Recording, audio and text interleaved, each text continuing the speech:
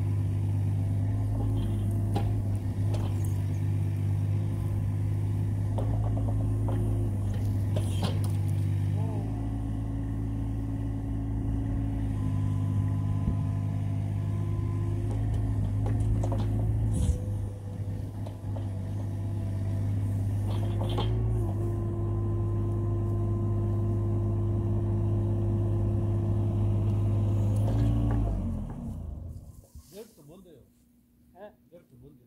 차카라 코치. 그것도 뭐야? 아, 새로 프로그램 만드는 3일간 있어가지고 오늘